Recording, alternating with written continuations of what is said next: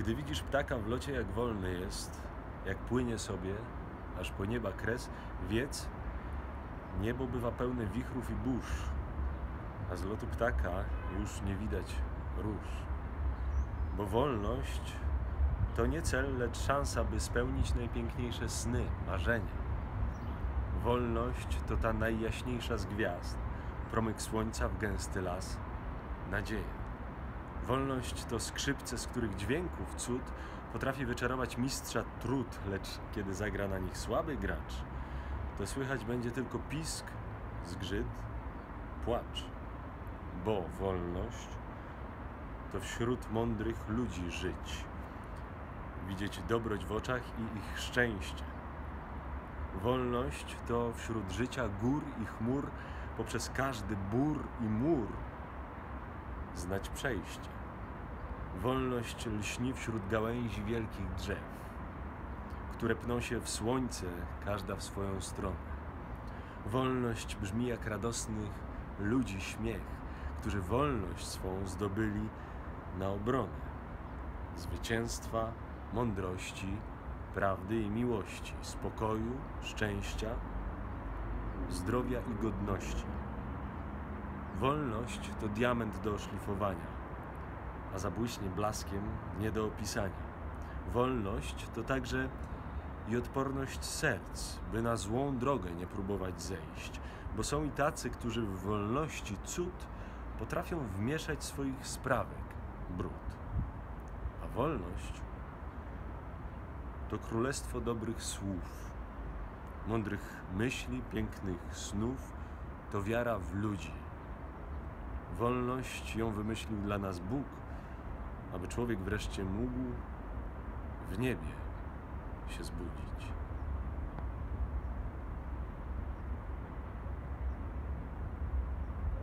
E, dzień dobry Państwu, serdecznie witam e, e, wszystkich, którzy odeszli od swoich obowiązków, żeby się zmierzyć z trudnym tematem w cyklu mini wykłady duchowe. Dzisiaj temat, temat szalenie, szalenie trudny i kiedy napisałem, napisałem, napisałem go na kartce, a potem wysłałem naszemu szanownemu gościowi, to, y, to zadrżałem. Otóż dzisiaj będziemy rozmawiać o tym, y, czy coś jest między wolnością i wyborem, jak jest między y, wyborem i wolnością. I gość jest wymarzony, bo to jest ojciec e, Paweł Krupa, który jest człowiekiem wolnym, zajmuje się wolnością i jego obciążymy y, wszelką odpowiedzialnością za ten trudny y, temat. Szczęść Boże, Ojcze. Szczęść Boże, dzień dobry Panu i dzień dobry wszystkim. Ojciec y, Paweł jest teraz w Petersburgu, a więc można powiedzieć, że rozmowa jest międzynarodowa. Ojciec Dominikanin, doktor teologii, historyk, mediewista, studiował w Krakowie, w Paryżu i w Rzymie. Mówili mi, że charyzmatyczny kaznodzieja, rekolekcjonista, ale też dyrektor Instytutu Tomistycznego w Warszawie przez, Były. przez 6 lat.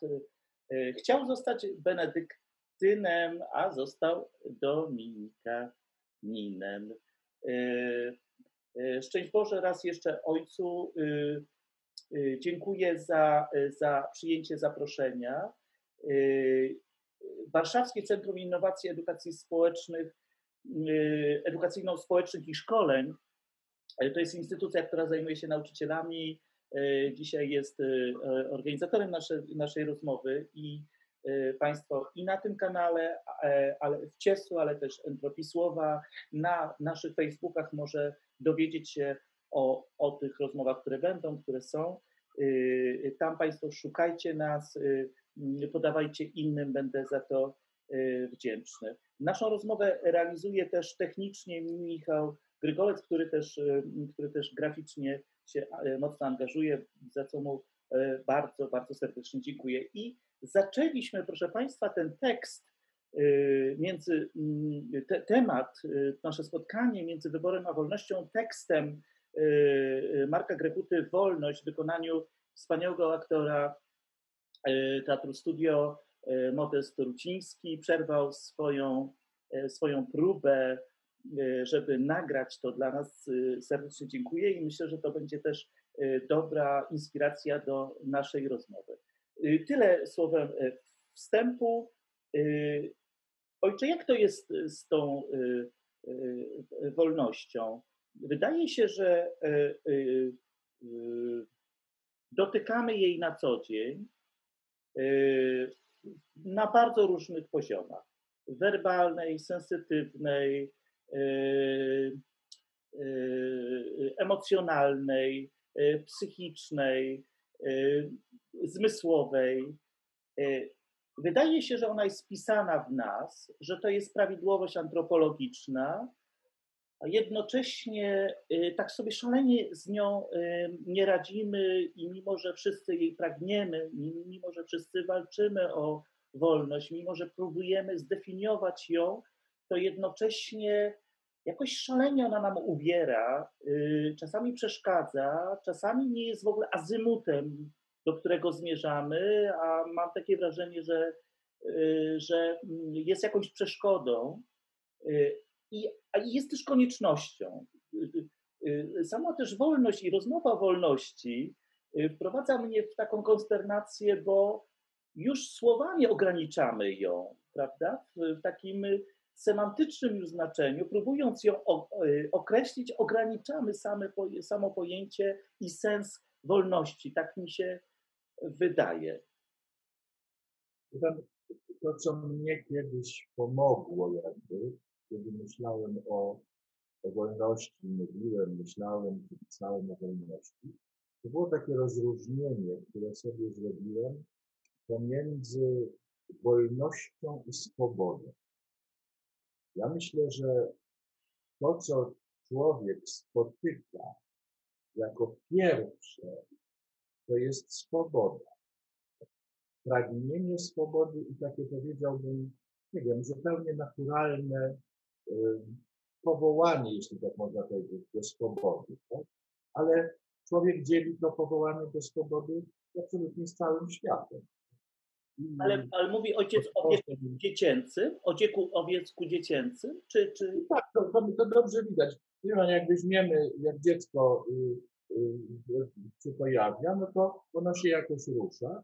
Jak zaczyna chodzić, to się rodzicom wyrywa. Ono ma swoje, ono jest swobodne. Tak? Ono, ono, ono nie ma zaprogramowanego takiego czy innego, nie wiem, kierunku, sposobu. Ono jest swobodne. Ono sobie chodzi tu tam, ono ma jakieś gesty, jakieś ruchy. Właśnie tak jak mówię, ono się wyrywa rodzicom. Tak? Ono nie, nie tak, że się urodzi i siedzi mamy na ręku to się nie ruszy. Dopóki mama mu nie powie idź, no sam sobie idzie, on jest swobodny.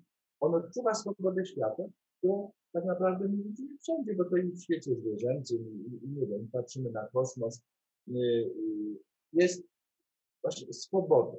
I ta swoboda, ona nam zostaje.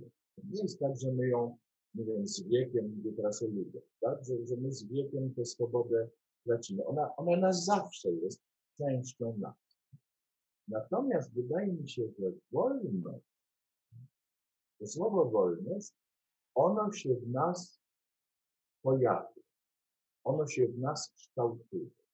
Mhm. Dlatego, że ono jest związane z podejmowaniem takich działań, które mają związek z naszą racjonalnością, naszym sumieniem, tak. Mhm. E, jeżeli ja sobie idę i leży, nie wiem, kamień, prawda? Idę sobie na wycieczkę, e, polna droga, leży kamień. Czy ja go kopnę, czy nie kopnę, to w ogóle nie ma znaczenia. Dla nikogo i dla niczego. Tak? Ja sobie ten kamień lekko się potoczy jestem swobodny, żeby go kopnąć. No nie, to, to jest pytanie.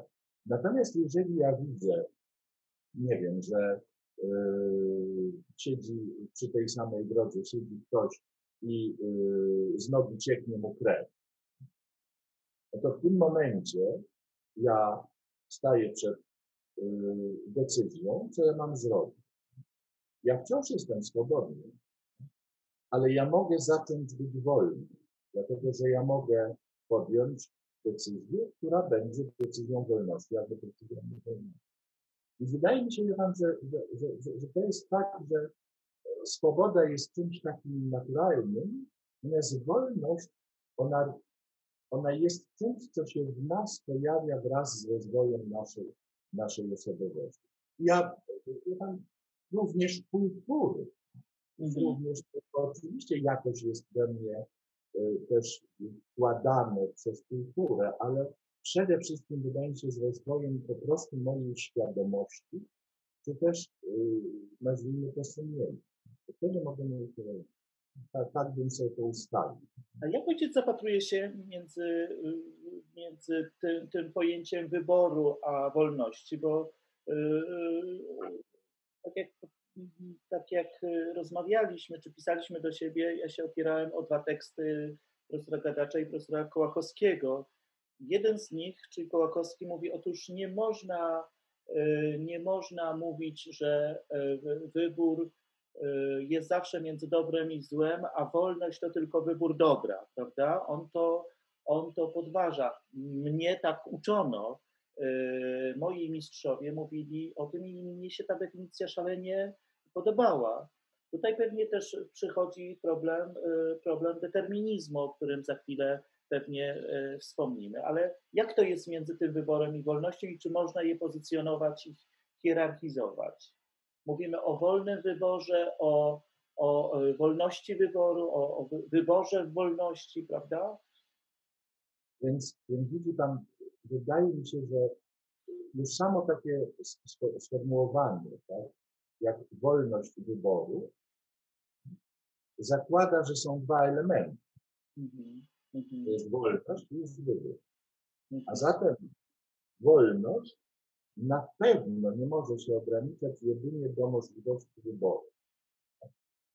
Wolność to nie jest możliwość wyboru. Mhm. Ja teraz na razie jeszcze zostawiam na boku zła i dobra, czy też. Mhm. Ale wolność to nie jest tylko zdolność czy możliwość wyboru. Dlatego, że, że no mówię, sam język nam podpowiada, że jak powiemy wolność wyboru, czy wolny wybór, to znaczy, że jest wolność jako pewien stan, czy, czy jako pewna rzeczywistość, w której dokonuje się wybór. Mhm. Tak, kiedy wolność dokonuje wybór. Mhm. Wydaje mi się, że tutaj, wydaje mi się, że tutaj y, tego, tego równania postawić się nie da. Y, wobec czego wolność, wolność byłaby, ja bym powiedział, budowaniem w sobie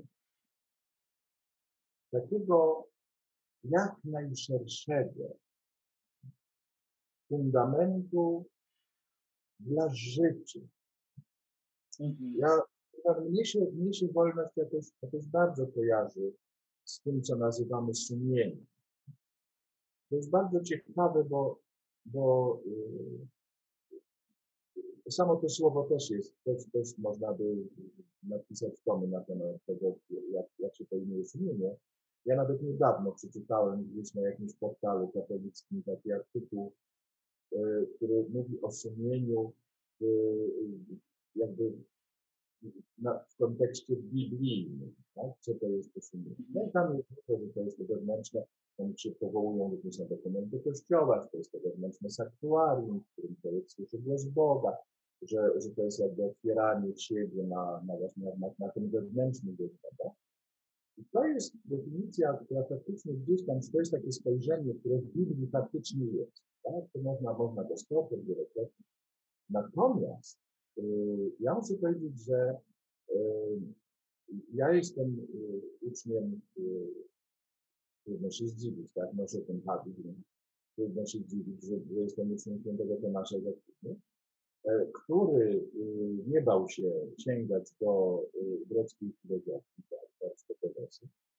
I jego definicja sumienia jest bardzo ciekawa. Mianowicie, mówi, sumienie to jest przyłożenie naszej wiedzy do naszego dzieła. to jest działanie zgodne z naszą wiarą. Mhm. I mnie, ba, mnie bardzo bliska jest ta definicja. Ja wiem dlaczego. Dlatego, że ja się trochę boję, że w dzisiejszym języku, tak, znaczy, jeżeli my żyjemy Biblią, tak, jeżeli my żyjemy wiarą, to jest tak naprawdę to na pewno ten głos Boży, który my w sobie odczytujemy, on na pewno będzie częścią tej wiedzy i bardzo ważny, tak? być może nawet najważniejszą częścią tej wiedzy, którą my będziemy przykładać do naszego działania. Ale nie tylko. Mhm. Nie, nie są potrzebne inne elementy tej wiedzy. Nie jest po prostu potrzeba jak najszerszego, wie pan, takiego, no tak jak powiedziałem, fundamentu, żeby moje działania były y, no właśnie w jak najpełniejszy sposób y, wolne, to znaczy oparte na pewnym, na pewnej zgodności tego, co ja mam w sobie, wewnątrz, w głowie, w sercu, w mojej wierze, z tym, jak ja żyję. Y, I wydaje mi się, że zapewnianie sobie tego fundamentu jak najszerszy, Mhm. to jest budowanie wolności. Taki, później Pan wybaczy, taki, taki, taki przykład y, mi się skojarzy. Ja uczyłem katechezy y, 30 lat temu tylko przez jeden rok. To był drugi rok nauczania katechezy, pionierskiej praktyki, bardzo fajnie. Otóż, ponieważ, y, jak Pan się pewnie domyśla, y, jednym z tematów, który bardzo interesuje ludzi w wieku lat 16-17, którzy są na katechezie, wcale nie jest Trójca Święta, ani relacje pomiędzy Ojcem, Synem i Duchem, ani Krystalicja, to interesuje, co zrobić z seksem. Tak? To jest jak tutaj ten seks i te przykazania i jak to wygląda. Ja pamiętam, że kiedyś tak, no nieomal spontanicznie, zrobiłem im taką lekcję na temat seksu. E, lekcja była, lekcja była, polegała na tym, w dwóch słowach, tak. Ja narysowałem takie kółko. To kółko podzieliłem tak jak kalendarze, tak, na różne. I tam wpisałem, no, nie wiem, tam wiedza, nie wiem, tam emocje, uczucia, kultura, książki, tam różne rzeczy. I między innymi był sens. Mhm. I myślę tak. Słuchajcie, to jest coś ciebie. I pierwsza podstawowa zasada. Seks jest we was. Mhm. Mhm. On jest częścią was. On nie jest poza wami. Mhm. Mhm. Nie myślcie na Boga, że ten seks stoi gdzieś obok, jako taki element, nie wiadomo co z nim zrobić, i teraz wy musicie coś z tym seksem zrobić. Oni go tak trochę odczuwają, bo on jest nowy, on się pojawia, ten razem, tak. No nie, on jest was, to jest część was. I ponieważ to się wszystko w kółku zabiera, to mi to jedna z takich pierwszych podstawowych zasad geometrii. Jak się gdzieś poszerzy koło, to ono się wszędzie poszerzy. Mhm. Mhm. Więc jak wy, nie wiem, poszerzycie sobie znajomość literatury, to wam się w seksie też więcej miejsc. Mhm. Mhm. Jak popracujecie nad, nie wiem, emocjami, przyjaźnią, gniewem i tak dalej, wam się też zrobi więcej miejsca w seksie. Mhm. No i potem tam jeszcze był taki na temat, co- to się dzieje wtedy, kiedy ten seks poza sobą stawiamy. Nie wiem. Wie pan co, co mnie zdziwiło? Zdziwiło mnie to, że za jakiś e, tydzień mniej więcej przyszło do mnie paru nauczycieli i powiedziało, że ja mógłbym przyjść do ich klas zrobić lekcję o seksie, ponieważ uczniowie mówią, że ja tak świetnie mówię o seksie. Tak. Tak. To było 30 lat temu. Nie wiem, czy dzisiaj zrobiła jakimś furorem ta lekcja, ale Na porównanie się świetnie sprawdziłoby i teraz. Nie pan, to, to czytałem, czytałem, czytałem, spróbowałem. Natomiast wracając do wolności, tak, do sumienia, to dla mnie, dla mnie sumienie jest właśnie takim fundamentem moich wolnych działań. Mhm. Już nie tyle wynikających ze swobody ruchu, z tego, że ja tam mam właśnie, no po prostu mogę chodzić, mogę siedzieć, mogę robić, akurat tak mam, tak? Nie jestem to Bogu. Ale, ale ono jest, sum- sumienie daje mi możliwość działania wolnego, to znaczy takiego działania, które wynika, które, do którego ja stosuję to, kim ja jestem, Mhm. to ja nazywam wiedzą. To nie chodzi tylko o to, co ja mam w głowie, ale chodzi właśnie o tę taką całość. I oczywiście, żeby moje działania były jak najbardziej wolne, Mhm. to, to, to, koło musi być jak najbardziej szerokie. Stąd jest ta, co co chwila się wspomina, prawda, o tym jakimś takim zobowiązaniu, zaproszeniu, możliwości kształtowania tego, co nazywamy sumieniem. Mhm. Słowem, żeby nie być satelitą wokół wolności, tylko być świadomym, że jest się w nim, w niej po prostu, prawda? E, Wolność Ojcze, ja, ja e, jeśli nadużyję Ojca zaufania, czy, czy, czy naszej relacji tutaj w rozmowie, to proszę mi zwrócić uwagę, bo Ojciec jest spowiednikiem, prawda? I e, to Ojciec, e, to Ojca dotyka e, codzienna opowieść o, o tym wyzwalaniu się do wolności, prawda? E, Jak mnie pyta moja rodzina i uczniowie, jak się spowiadać, bo ty jesteś patologii, to ty będziesz wiedział. Ja mówię, słuchajcie, zaskoczcie siebie przede wszystkim, siebie, a potem spowiednika yy, i ja przynajmniej się tak spowiadam, że mówię o dobrych rzeczach od ostatniej spowiedzi, co nie jest takie oczywiste, nawet bym powiedział, że rzadkie. Zacznijcie od dobrych rzeczy. Yy, To znaczy, że dacie sobie i, i kapłanowi przestrzeń do tego, że, y, że, że gdzieś wysyłacie sygnał, że chcecie być wolni, że wiecie, co to jest wolność, że za nią tęsknicie, prawda? Y, To pierwsza, to pierwsza, to pierwsza y, próba jakby zachęcenia ojca do opowiedzenia, jak to jest z, tą, z tym właśnie sumieniem i grzechem i z tym wychodzeniem, które jest łatwe, ale jeszcze prostsze jest być może wychodzenie, y, wychodzenie i zdoby, odzyskiwanie wo- wolności, bo po prostu się jest, y, w niej się jest. A druga rzecz, którą chciałem za, za, za, y, powiedzieć, to ten dylemat y, doświadczenia covidowego, lockdownu, no bo jesteśmy zanurzeni w, nie, w niewoleniu takim y, czasoprzestrzennym, prawda? No nagle ktoś zarządził, y, nie chcę oceniać, czy dobrze, czy źle. I przypomina mi się rozmowa z profesorem Bralczykiem, kiedy rozmawialiśmy z Lucyną Kirwil właśnie i mówiłem o tym, kiedy zaczynał się, zaczynał się lockdown w marcu i dokładnie, ja jestem też z wykształcenia etykiem, zadzwoniłem do mojej przyjaciółki, która pisze podręczniki i mówię, wiesz, y, rząd jest, każdy rząd i nasz też jest przed ogromnym dylematem. Na, na y, szali kładzie dwie y, sprawy: wolność i wolność. Wolność y, covidowa i wolność antycovidowa.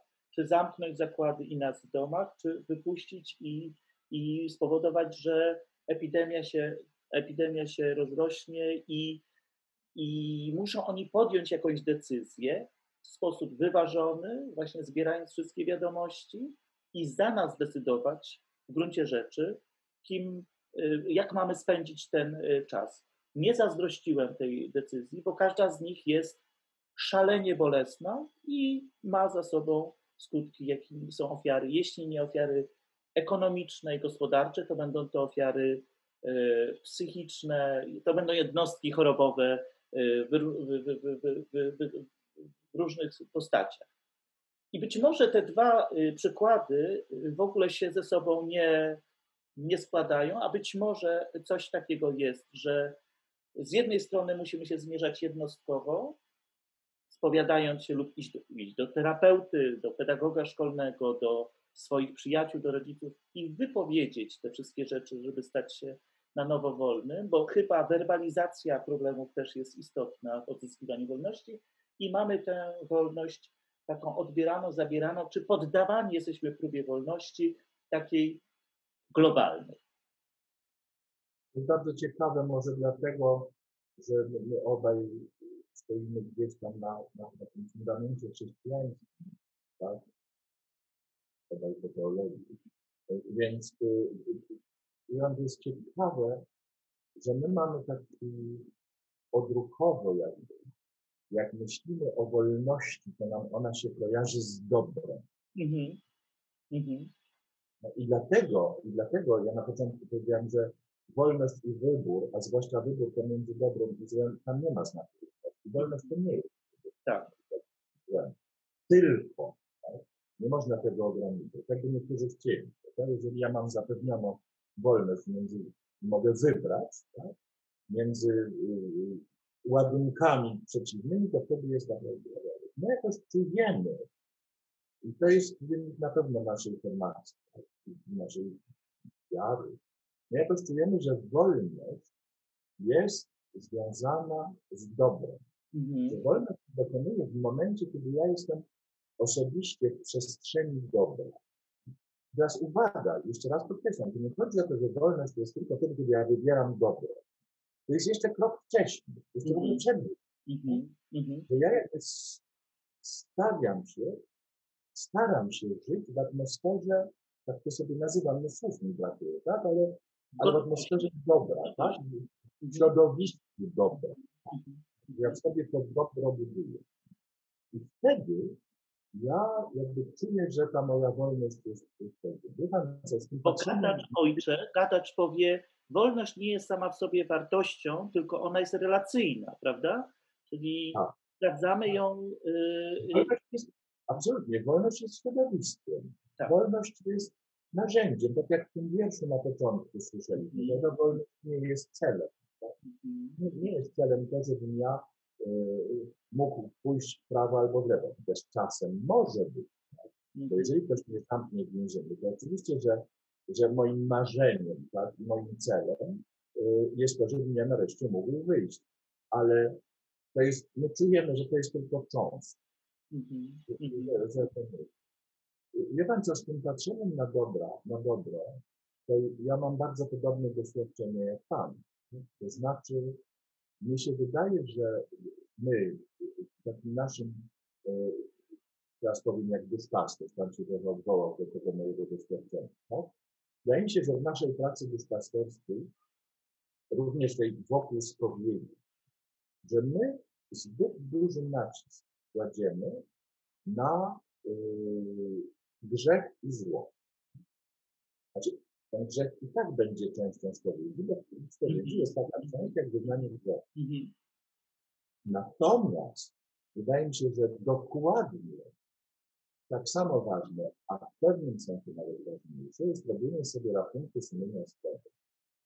Mhm. I powiem panu, że zdarzyło mi się, miałem kiedyś takie natchnienie wiele lat temu, że zadałem za pokutę, żeby człowiek przypomniał sobie od ostatniej spowiedzi nie mniej niż cztery dobre rzeczy, które zrobił. Ale tak konkretnie. One mogą być takie, maleńkie, ale dobre, żeby sobie to nazwał. Mhm. I żeby za to Panu Bogu podziękować. nie?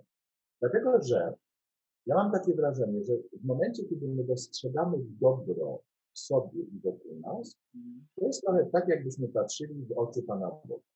Mhm. Jak my się skupiamy na złu, to my się skupiamy najczęściej na sobie. Nawet nie mówię tam, że na diable, nie. Na sobie, na swojej słabości. jesteśmy. Dobro ma taką, nie wiem, ma taką zdolność jakiegoś takiego otwierania nas, dlatego, że, że ono jest, że jego źródłem jest ten jedyny dobry według naszej tak? Jest ten jedyny dobry, który i muszę Panu powiedzieć, że zdarzyło mi się usłyszeć od ludzi, e, że to jest jedna z trudniejszych pokut, jakie w życiu doszło. To jest bardzo trudne. Mhm.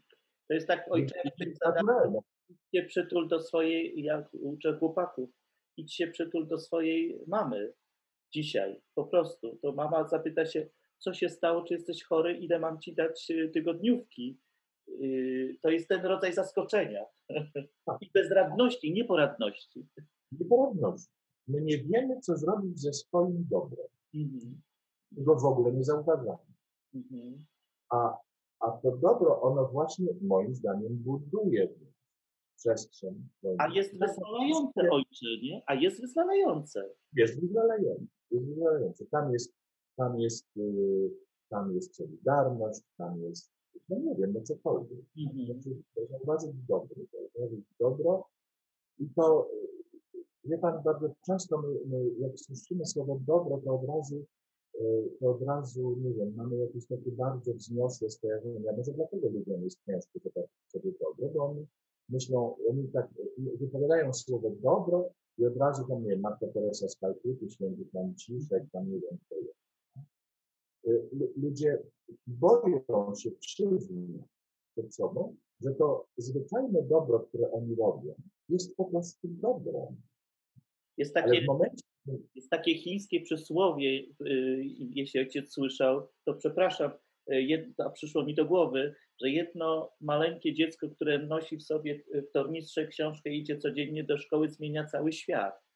No tak. Wie pan co, ja, ja gdzieś słyszałem w jakiejś rozmowie wiele, wiele lat temu, yy, słyszałem opowieść kobiety, która szła odwiedzić swoich znajomych winda nie działała, więc ona szła po schodach i schodzi jakaś pani z góry i ona mówi dzień dobry. Mm-hmm. I ta kobieta się rozpłakała. Człowiek zatrzymała się, co się stało, może pomóc, może coś. Mm-hmm. Na co ta kobieta mówi, nie, proszę pani, nic się nie stało, tylko że ja tu mieszkam od 20 lat i pani jest pierwszą osobą, to tam. I teraz uwaga, to dzień dobry, to jest właśnie to dobre. Mm-hmm, mm-hmm. Dzień dobry. Tylko dobre nam się z jednej strony czasem wydaje jakieś takie naturalne, albo coś, a z drugiej strony my się boimy przyznać do dobra.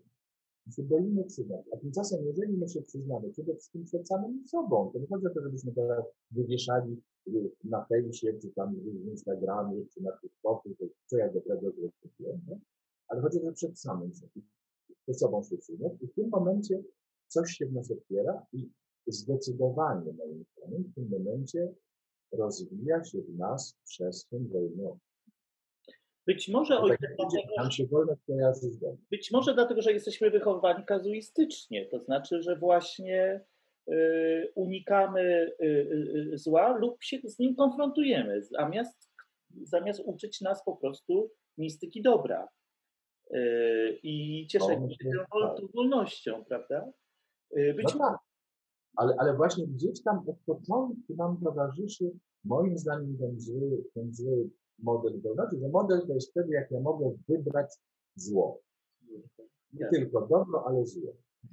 To jest bardzo ciekawe, że pan ja sobie tutaj tak popatrzyłem przed tą naszą rozmową gdzieś tam po, po, po źródłach. To jest bardzo ciekawe.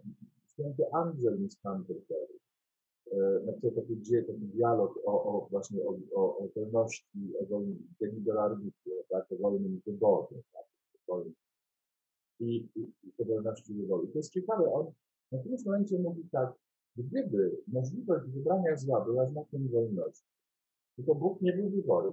Mm-hmm. No bo my jakby tak rozumiemy Boga, że w Nim jest samo dobro, w związku z tym alternatywa zła jako, jako alternatywa możliwa do działania w Bogu się nie pojawia, chyba nie jest wolna, on jest strasznym determinizmie dobry. Tak? Bo nas kiedyś ktoś przekonał, dla mnie to wiadomo kto, tak? to gdzieś tam ze pierworodny jest dla mnie, tak? ale nas gdzieś ktoś przekonał, że jak ja będę w dobru całkowicie za, za, zanurzony, to ja będę zniewolony. To jest dopiero mm -hmm. Mhm. To jest sukces. To jest sukces zła, który się dokonał gdzieś tam, nie wiem, tak nazywamy że myśmy to uwierzyli. Jak człowiek będzie zanurzony w dobry, to jemu czegoś będzie brakować. Otóż nie. Właśnie na tym to polega. Nie będzie brakować. A jaki jest ten bycie determinizmem, o którym, o którym y, już wspominaliśmy? Chciałbym tutaj dwa przykłady podać. Słynna historia Kaina i Abla, aż się prosi do tej rozmowy, a dla nauczycieli też taki materiał, który, który podpowiada, może, może być przyczynkiem do rozmowy, to jest oczywiście pokój syna Morettiego, e, włoskie dzieło, za które Moretti dostał, zdaje się, Oscara.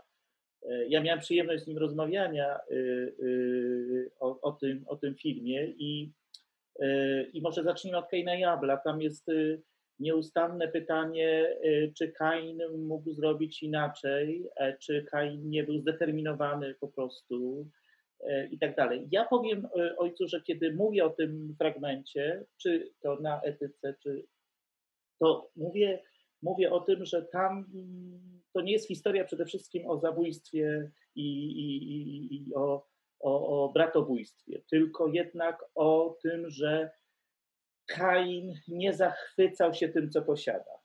Nie, do, nie odczytał swojego powołania yy, i zadania.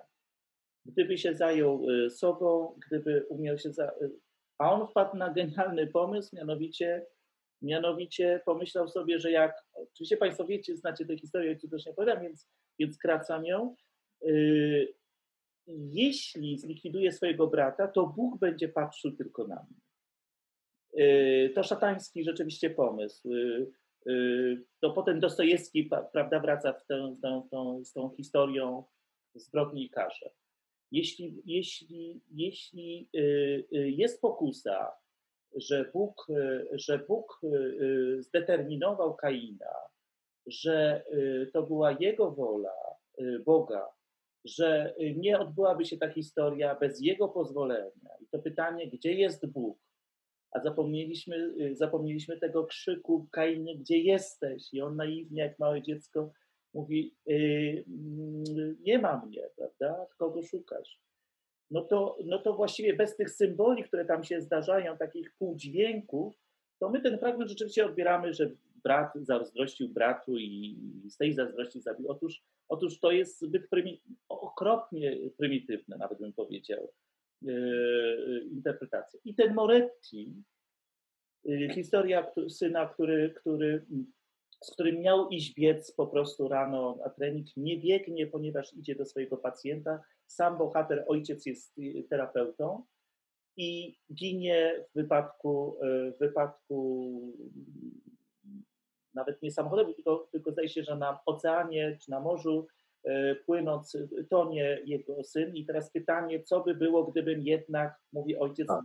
co by było, gdybym z nim poszedł, e, być może uratowałbym go i cała opowieść jest o tym, kto zdecydował, czy to jest gra w kości, czy to jest zdeterminowane przez los, czy rzeczywiście mam na niego jakiś wpływ, czy ktoś się ze mną w tę wolność e, i wybory nie bawi. Moretti stawia szalenie inteligentne pytania, które mogą być, e, mogą być inspiracją do, do, do rozmowy. Co ojciec sądzi o tej determinacji? Oczywiście to słynne jeszcze pytanie, gdzie był Bóg, gdzie są konflikty, gdzie jest Bóg, kiedy są, są dzisiejsze, e, dzisiejsze epidemie. Wie pan, my nagrywamy tę, tę rozmowę przecież nie tak daleko, nie tak daleko po święta Wielkanocy. Pan przywołał Kaina Jabla, ale przecież pamiętajmy, Y, te tajemnicze, tajemniczą rozmowę y, podczas ostatniej wieczerzy Jezusa z Judaszem. I to, co później Jezus mówi, wprawdzie to wszystko było napisane, spełnia się to, co ma się spełnić. Natomiast no biada temu, kto dokonuje takiej zbrodni. Tak? No i zaczynamy dokładnie tak, jak Pan mówi. Zaczynamy patrzeć na to wszystko, na Boga z taką podejrzliwością, że to jest ktoś taki, kto bawi się z nami w wolę. Że my tym nie wolni, ale on jest. I wydaje mi się, że, że, że my w ogóle trochę jakby, trochę jakby źle czytamy tę historię. Bo jeśli Pan sobie przypomni, to Kaina Bóg nie pozwolił tknąć. Tak. Mówi, otóż nie będę taki jak, nie będę taki jak ty. Tak. tak. Prawda? Bo gdybym tak zrobił, byłbym byłbym tobą, a nie. A nie jestem. I, i, I tutaj y, i, i, i samobójstwo, i samobójstwo Judasza jest jego decyzją. W jego tym środowisku, w jego sumieniu y, była to decyzja, którą on podjął. Wydawało mu się jedyna możliwa. Inny zdrajca, Piotr, tak, który nie poszedł Pana Jezusa bronić, a jak go trzy razy pytali, czy go zna, to się tak? On potem odbywa zupełnie inną drogę. To zupełnie inaczej się o tym. Wydaje mi się, że jak tak czytamy sobie te zapisy w Ewangelii, a potem również katechezę, którą wygłasza w dziejach apostolskich Piotr, tak, do zgromadzonych w pięćdziesiątnicy, to ja to czytam w taki sposób, że y, jest coś takiego jak Boża wszechwiedza i Boża wszechwiedza. No jeżeli Bóg zna wszystko i wie wszystko, to On wie, co się zdarzy. On wie, co my zrobimy i co my wybierzemy.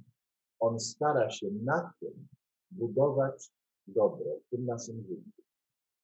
On to jest bardzo ciekawe. To, to, jeszcze kolejny temat nam będzie, ale to za chwilę. Że Bóg nie wchodzi jako, właśnie Bóg nie wchodzi jak aktor marionetek. To Bóg wchodzi jako ten, który na tym, Nie jest interwencyjny. nie, nie, to nie jest na tej zasadzie, że on, tylko on na tym, co my robimy, co my wybieramy, o czym on wie, co będzie, Mhm. stara się zbudować Mhm. to, o co jemu chodzi, a mianowicie nasze szczęście wieczne i nasze sprawiedliwość, tak ostateczne zwycięstwo. Wykorzystując do tego nawet nasze złe wybory. tak? I w tym znaczeniu dzieje się to, co było zapowiedziane. Ktoś zdradzi i Chrystus pójdzie na krzyż. O tym wiadomo. tak? Na, i- to jest, jakby o tym wiadomo, na tym zostanie zbudowane zwycięstwo nad śmiercią, śmierć Chrystusa, a potem? Natomiast jest odpowiedź, odpowiedzialność za wybory, tak? odpowiedzialność za, za, za moje czyny, jest moja osobista.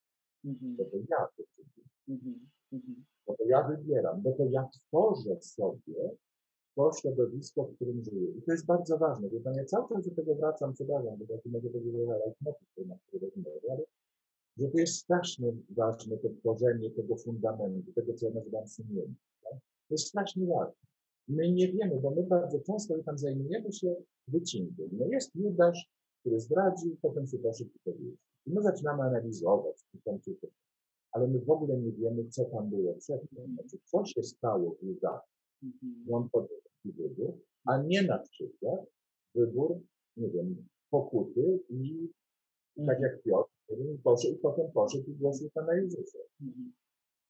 I, i, i tak, jak, no, no, no jakoś tak to sobie wyobrażam. Nie, nie wiemy tego, to jest jego tajemnica i tego nigdy nie dowiemy. To, jest zawsze tajemnica pomiędzy, tajemnica człowieka. Przychodzi mi na myśl, ojcze, jeśli ojciec mówi o tych, o tym, to trzymajmy, trzymajmy się już tej, tej opowieści tego zespołu, który y, gdzieś, y, kiedy wrzucamy ten przykładowy seks, on się powiększa, bo powiększa się y, nasza zdolność, zdolności empiryczne, zdolności sportowe, zdolności bardzo różne, to przypomina mi się opowieść, y, nie wiem gdzie to czytałem, że Bóg y, rodzi człowieka y, i ograniczając wolność powiększa pole, znowu jakiś oksymoron, Bóg z ograniczoną wolnością, prawda?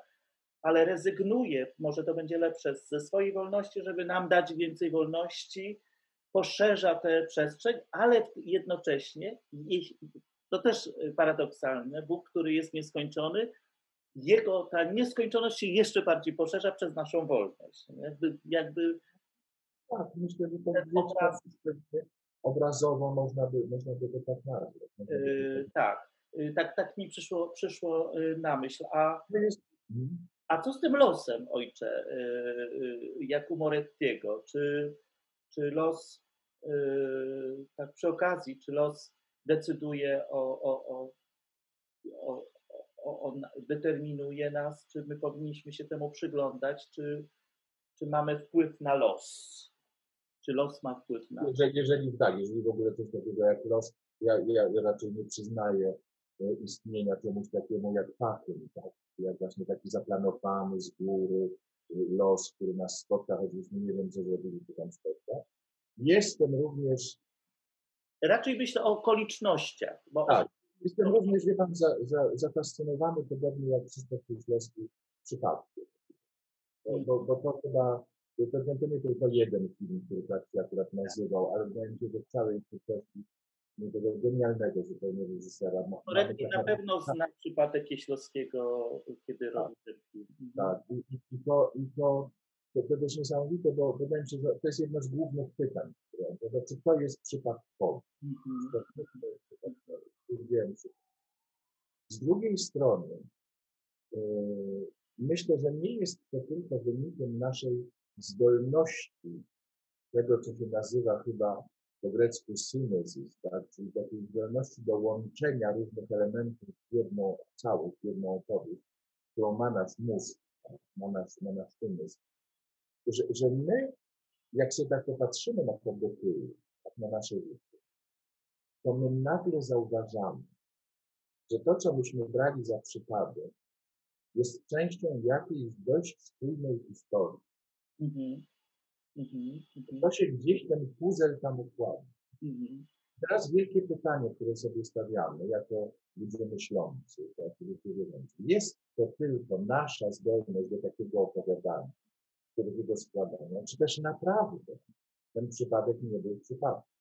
Mhm. Też naprawdę, ale znowu nie w takim sensie, że ktoś z góry go tam, nie wiem, postawił i zaplanował, tylko że on w całym tym ciągu naszego życia ma swoje miejsce. Mhm. My, i my po prostu, wie pan, ja, ja, ja kiedy patrzę na moją przeszłość, to mam takie poczucie. To Mhm. jest bardzo ciekawe. Pan Bóg zna wszystko. Przeszłość, teraźniejszość, przyszłość. Ja przyszłości nie mam pojęcia. Teraźniejszość, no to tak właśnie tyle, o ile ten.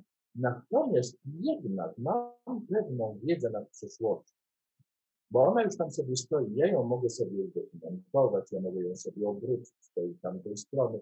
Ja jednym oglądem wszystkiego nie rozumiem, to jest jasne. Ale mogę sobie tak popatrzeć. I w tym momencie pojawia mi się, yy, pojawia mi się takie poczucie, ojej, ojej, to, to trochę Pan Bóg tak to pewnie widzi. Mhm.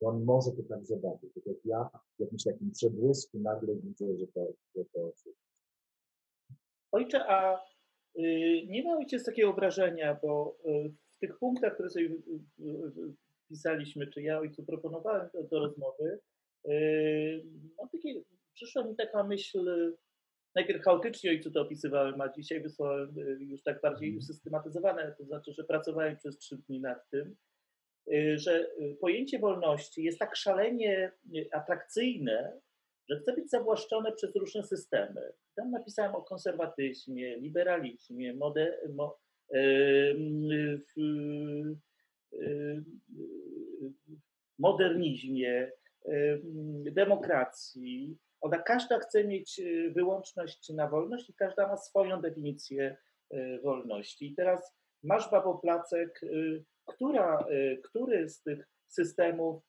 nie tyle jest bliższy, tylko czy, czy to jest prawe w ogóle, że, że tak, się, tak się dzieje? No, tak się dzieje i, i temu się przyglądamy, temu procesowi. Czy, to jest, czy właśnie może lepiej, czy to idzie ku dobremu, czy rzeczywiście to zawłaszczanie już poszło tak daleko, że wolność y, została zniewolona? Tak, no to wie pan, no, we wspomnianym gdzieś tu wcześniej, w 68 roku, słynny napis na murach w Paryżu, zabrania się zabrania.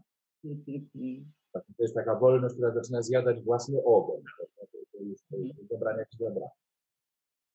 Y, I, I na pewno my do takich paradoksów dochodzimy. Natomiast to, co wie pan mnie fascynuje, to jest to, że jeśli my sobie popatrzymy na historię tak, ludzkości, człowieka, my zobaczymy, że pojęcie wolności na płaszczyźnie społecznej, to ono się trochę tak nas rozwija, jak pojęcie wolności u, każdego człowieka indywidualnego. Znaczy, to nie jest wcale naturalnie dane.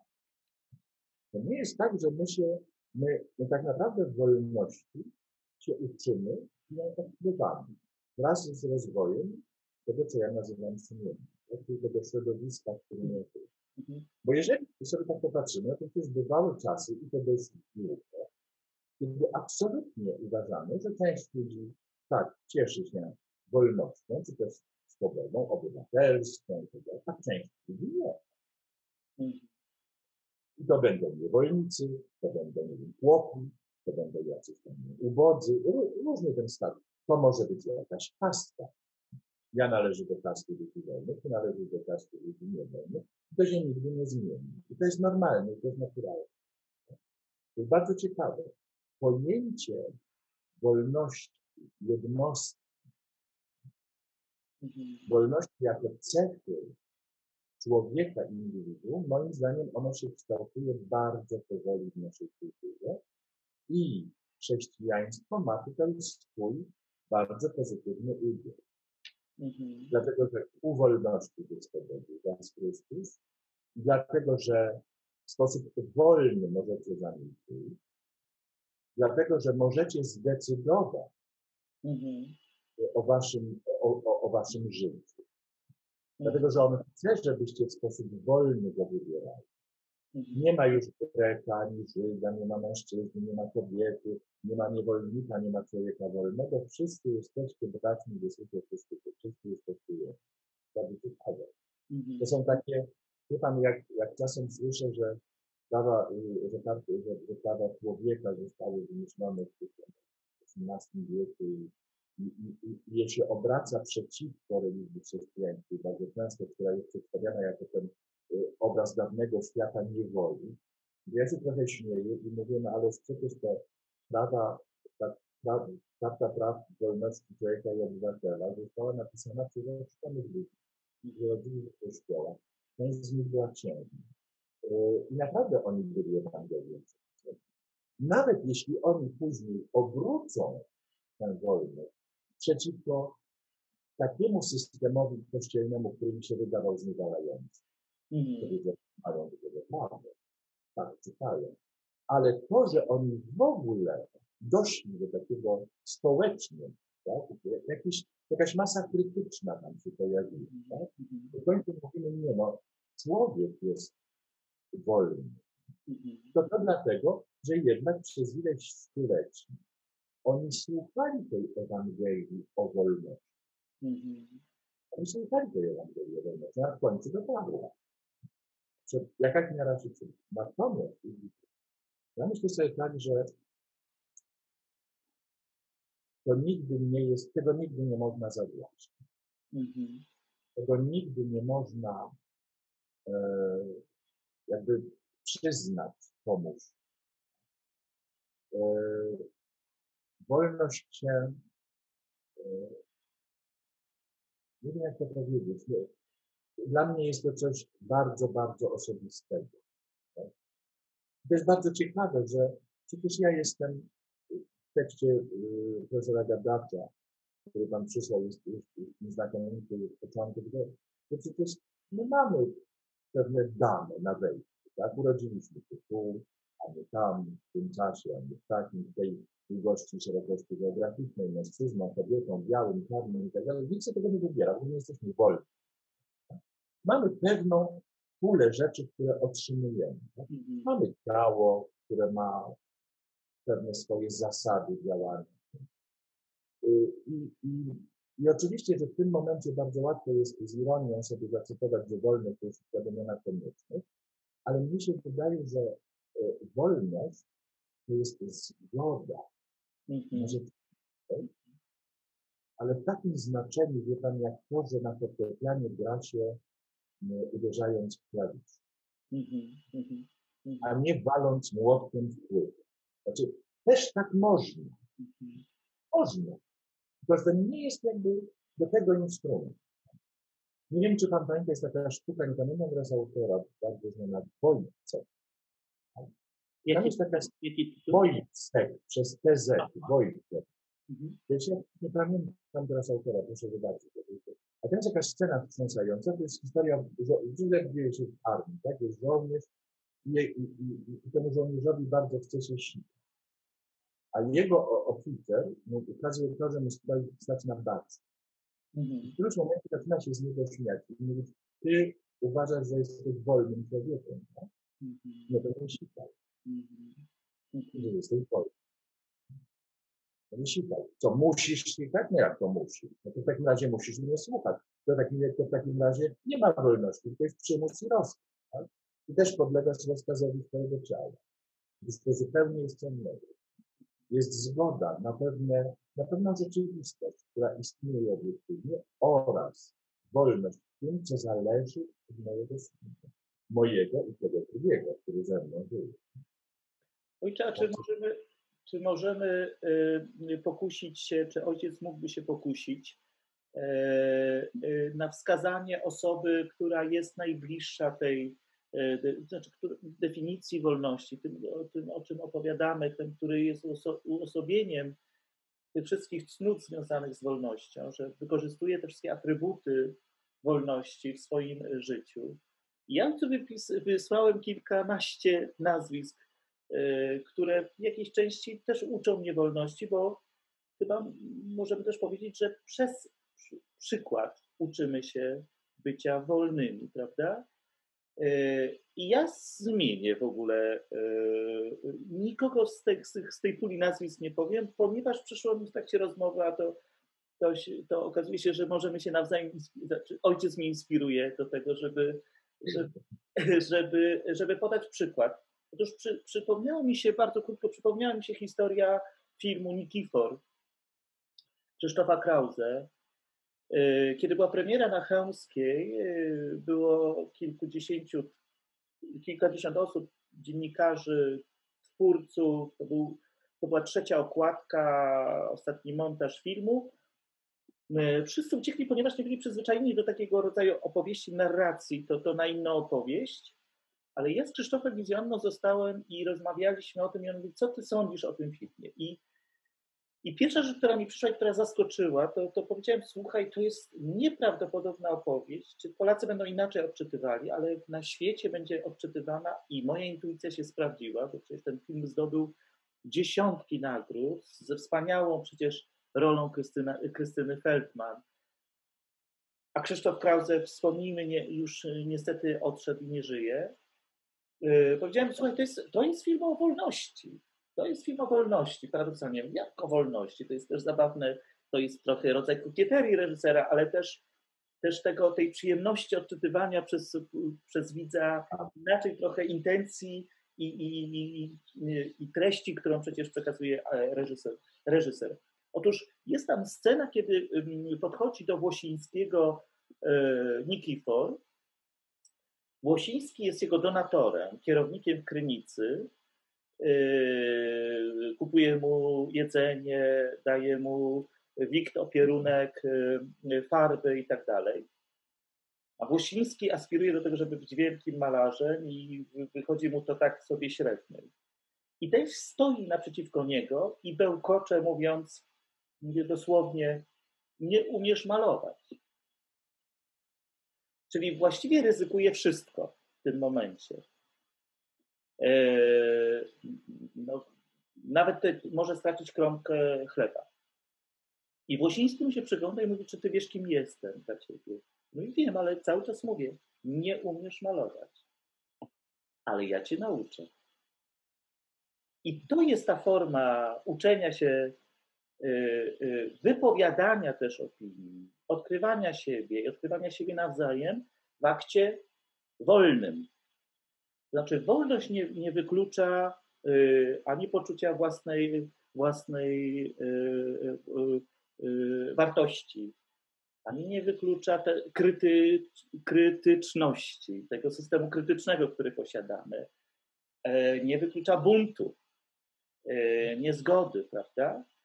Ale wolność, miarą wolności jest też dobro, które się, o czym wspominaliśmy, które wykluwa się. To znaczy, że, że po tym szoku, jakim, jakim, jaki słyszy Włosiński, właściwie on idzie za tym tropem i zaczyna być wielkim, y, znaczącym y, malarzem. Nie obraził się, nie szantażował, bo nie wykorzystał tych wszystkich narzędzi właśnie kainowych, oto pozbędę się utwora i, i będę tak. jedynym malarzem, prawda, Krynicy zna, zna, znaczącym. Być może niefortunne porównanie, ale ale Nikifor i Krzysiu się wzruszył, pamiętam tą opowieścią, i Joanna, że tak to odczytuje i mówię, jeśli ja będę rozmawiał o tym filmie, to zawsze będę rozmawiał. I jest zabawne, że raz na cztery lata pokazuję mm, ten film e, wszędzie, gdzie, gdzie mogę, młodzieży, publiczności, zawsze poruszając ten wątek. A, a jak jest u ojca z, z postaciami związanymi z wolnością?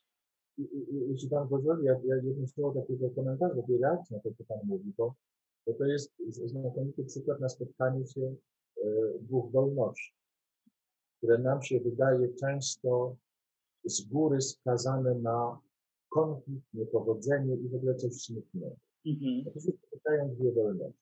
Spotyka się wolność Nikifora, który nie jest należy, i wolność tego człowieka, który, tego drugiego malarza, który właśnie w sposób wolny wybiera Mhm. reakcję nieagresywną, właśnie nie pozbycia się, nie wiem, nie, nie, nie y, otrucia tego Nikifora, tak, czy wysłania go do domu wariatów, tylko wybiera dialog i rozmowę i okazuje się, że te dwie wolności nagle zaczynają się fantastycznie jakoś nawzajem. Bo chyba uzupełniać. bo miarą wolności, znaczy tym, tym, tą, y, tym rozeznaniem wolności jest kreatywność. To też mówi o tym y, Kołakowski, prawda? Że wolność jest kreatywna. Tak? Wie pan co, ja, ja sobie myślę, ja oczywiście mam taką pokusę, nie, niech mi Państwo wybaczą i, Pan również, ale ja oczywiście mam taką pokusę, trochę jak dowcipie o katechecie, prawda, powiedzieć, że dla mnie to Pan Jezus jest najlepszym wcieleniem człowieka wolnego, ale, ale e, nie chcę, nie, chcę na taką pójść łatwą rzecz. Ja, ja bym powiedział o, ja najpierw dam króciutki przykład, a potem rozszerzę to. Otóż przykład jest taki, rozmawiam Ci jak kiedyś z kobietą, e, już bardzo podeszłym wieku, rozmawiamy o Bogu, o, o wierze, i ona w którymś momencie do mnie mówi, ja w Boga to nie wiem, czy ja wierzę w Boga, czy to wiem, natomiast widziałam, zdecydowanie spotkałam Jego aniołów. Tak? Z czym Pani jest absolutnie nieegzaltowana, Pani nie jest jakimś, nie, nie, zupełnie inaczej. No, Trochę zaskoczony taki jestem, bo właśnie z tą swoją osobowością na mnie nagle wyjeżdża tutaj, że widziała aniołów Boży. I ona mi opowiada historię. Mianowicie jest wrzesień 1939 roku e, i jej, oni mieszkają w Warszawie i rodzice decydują, że bezpiecznie jej będzie na wsi. Ona jedzie nad pociągiem e, do jakichś znajomych e, i e, przyjeżdża i z dworca e, tego kolejowego idą gdzieś przez pole tam, żeby to przez pola, żeby to wioski. I w tym momencie nadlatują niemieckie samoloty, zaczynają strzelać po tych ludziach, więc kobieta krzyczy, aha, ona wyszła, a ona wyszła ze swoją córką. Tak, sobie. I ona krzyczy, w pole, się w pole, i dziewczyny się kładą, ona się kładzie i w tym momencie dostrzega, że ta dziewczynka z Warszawy ma na sobie białą sukienkę. I kiedy ona krzyczy do swojej córki, która jest ubrana na ciemno, na szaro, połóż się na nią, żeby jej nie było widać. I ta dziewczyna kładzie się i zakrywa tę białą sukienkę sobą, swoim ciałem. Żeby... Po kilkudziesięciu latach, ta starsza pani, która mi to opowiada, ona do mnie mówi, proszę ojca, e, ta kobieta ryzykowała życie swojego własnego dziecka, żeby uratować dziecko przyjaciół. Mhm. Mhm. Tak człowiek nie robi. Tak robi anioł. Ja spotkałam anioła. I jest pierwszy taki, to jest taki konkretny przykład. Ja sobie myślę o tych wszystkich ludziach, którzy na pytanie, dlaczego to zrobiłeś? Druga wojna światowa jest oczywiście takim momentem, ale nie tylko. tak. Przecież mamy lata, mamy w Polsce tę walkę o, o, o, wolność słowa, tak, o, o godność, nie wiem, robotników, o godność człowieka. I bardzo często ludzie, którzy bardzo dużo ryzykowali, na pytanie, dlaczego to robiliście, jedynym, jedyną odpowiedzią jest, bo to jest naturalne, Mhm. bo tak się robi. I to jest dla mnie, i wszyscy ci ludzie, którzy odpowiadają w ten sposób, są dla mnie jakimiś takimi fantastycznymi przykładami wolności. To jest bardzo ciekawe, bo oni stworzyli w sobie takie środowisko, w którym decyzja, która z boku wydaje się heroiczna, y, nie wiem, jakaś taka no, ogromnie ciężka w skutki itd., itd., ona im przychodzi w sposób naturalny. Nie ma inaczej się nie robi. Nie ma innej.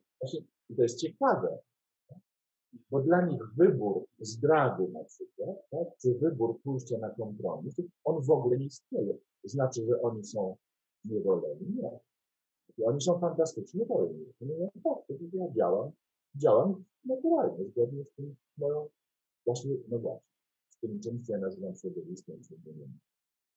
To ciekawe. Dla mnie to są, to są przykłady takiej wolności. No i tak, w taki oto sposób y, y, pominęliśmy y, wybitne nazwiska, który, którymi moglibyśmy się posługiwać, ale z każdą z, z, z nich można zrobić lekcję i opowiedzieć o, o tym fenomenie wolności i wy, wy, wy, wyborów. E, a tymczasem mm, zaproponowaliśmy niespodziewanie zupełnie inne historie. Mam nadzieję, że one też do zainspirują.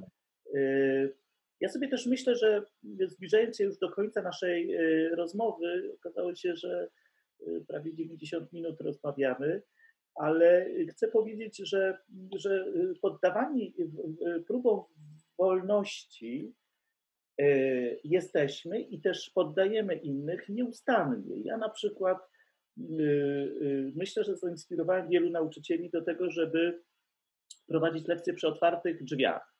To robię zawsze, od zawsze i zauważyłem, że nauczyciele po, po pierwsze czasami siadają i słuchają, mając okienko, o czym rozmawiam, o czym nie wiedziałem, bo nie widać ich, ale też mówię, znaczy, miałem pytanie, czy ja się boję może uczniów. Okazało się, że nie, w ogóle dlaczego, dlaczego miałbym się bać uczniów? Po prostu oni muszą mieć wrażenie, po pierwsze, że jest profanum i sakrum, że tam jest profanum, tu jest sakrum.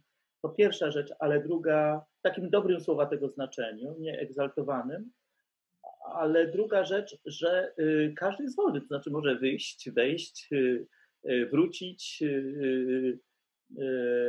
I te otwarte drzwi jakby były symbolem naprawdę otwartych, od, otwartości i takiego tak, zachęty do, do dokonywania wybor, wy, wy, wyborów. I do tego Państwa też zachęcam, ale klasa, szkoła, grupa, nie tylko rodzina, nie tylko kościół, nie tylko kazanie, nie tylko katecheza i, i religia, ale, ale klasa przede wszystkim jest y, taką, takim miejscem y, uczenia się nawzajem wolności, przez, przez uczenie się relacyjności, szacunku, godności, pozwalania na wypowiadanie swoich opinii, Y, zawsze mówię, że uczeń, y, my jesteśmy sługami uczniów, a zatem uczeń może wszystko z nami y, na lekcji, wszystko, bo to jest jego poligon i on ma nas doświadczać wszelkich, wszelkich emocji. To jest, ja wiem, że to jest śmiałe, ale, ale tak uważam. Ja cieszę się, że ja tylko przez rok byłem nauczycielem. Mówię to nie bez kozery. Zachęcam, zachęcam Y, zachęcam nauczycieli do tego, żeby, żeby zechcieli y, nie przemawiać do uczniów, a z nimi rozmawiać. To już będzie jakiś dowód na to, że, y, że, że zauważamy w nich wolnych ludzi i że chcemy, żeby oni byli wolni. Paradoksalnie też zauważyłem, że kiedy kończę nasze rozmowy, najczęściej mówię, życzę Państwu, żebyście byli wolni. Dopiero to ktoś mi to zwrócił uwagę. Dlaczego ty mówisz o tym, czujcie się Państwo Y, y, wolni, bo już mam takie wrażenie, że nawet rozmawiając tutaj i definiując pewne rzeczy, być może ograniczamy y, fantazję i wyobraźnię. Pewnie też wiele osób potrafiłoby inaczej opowiedzieć to. My nie determinujemy naszymi opowieściami.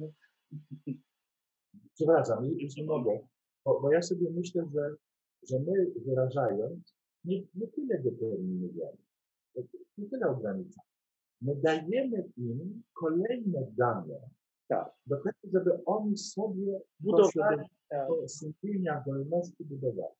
To jest, wie Pan, to jest trochę tak, jak Pan zostawia te otwarte drzwi, to jest bardzo ciekawe, bo Pan jakby zapewnia swobodę, której może się dokonać wybór. Mhm. Której może się dokonać wybór. Jak nie ma swobody, to często, jak człowiek jest kajdankami skuty, to ciężko mu wybór dokonać. Ale jak nie jest wstydu, mm-hmm. może powiedzieć zostań albo odejść, to on podejmie ten wybór i będzie wolności wybiera.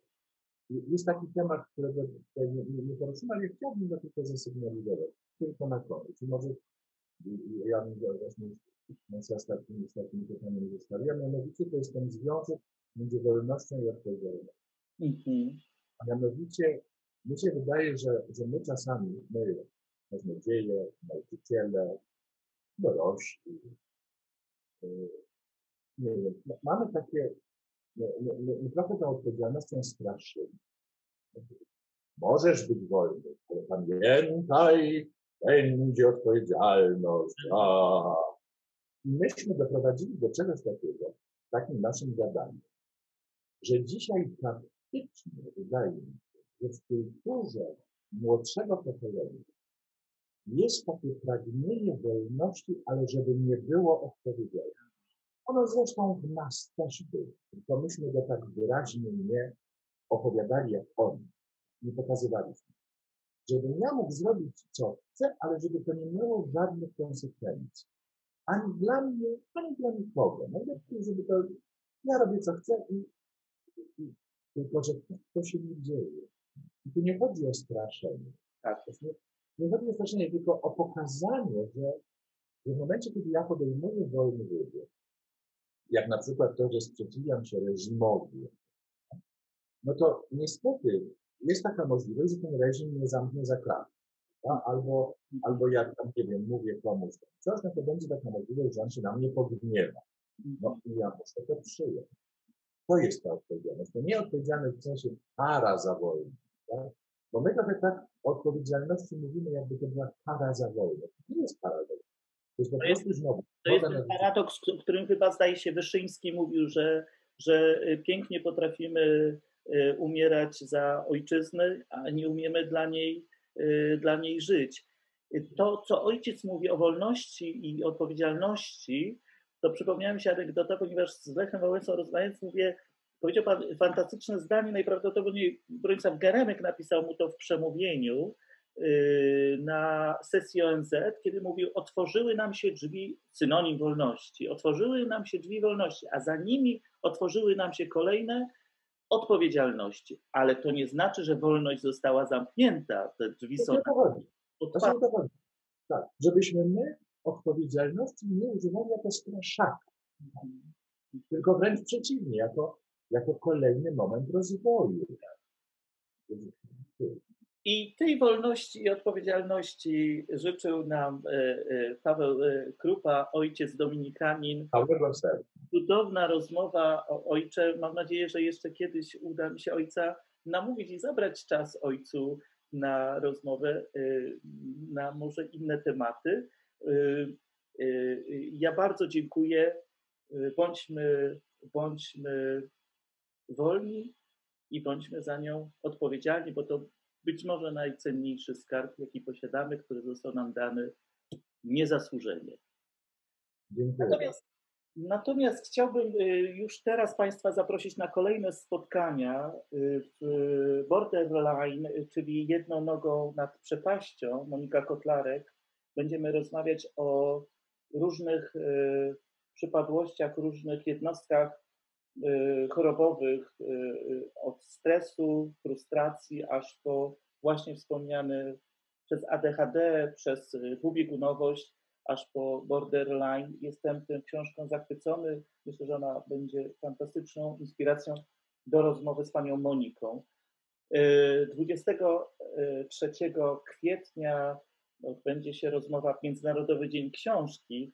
Odbędzie się rozmowa Marii, o Marii Curie Skłodowskiej, w, w, we wspomnieniach Ewy, Ewy Curie, a więc córki Marii Skłodowskiej. Fantastyczna rozmowa z Miłką Skalską i, i Sławomirem Paszkietem. To są dyrektorzy Muzeum Marii Skłodowskiej. Za chwilę rozmowa z Cezarym Łazarewiczem, żeby nie było śladów, sprawa Grzegorza Przemyka. Przejmująca, fantastyczna opowieść, książka, powiem Państwu, że zadzwoniłem do, Cezarego, do pana Cezarego i powiedziałem, że to jest fantastyczny materiał na film. Okazało się, że już jest, już jest filmowany. I, I już na koniec, a piękno świeci w ciemności, rozmowa z biskupem yy, Michałem Janową o yy, ikonie, wykład, więc dużo chyba emocji, dużo spotkań. Za nami 20 rozmów, a jeszcze myślę kilkadziesiąt będziemy będziemy mówić y, na różne tematy. Zapraszam Państwa na kolejne. Jeszcze raz bardzo Ojcu Pawłowi dziękuję. Bądźmy szczęśliwi, bądźmy wolni, bądźmy odpowiedzialni. Wszystkiego dobrego.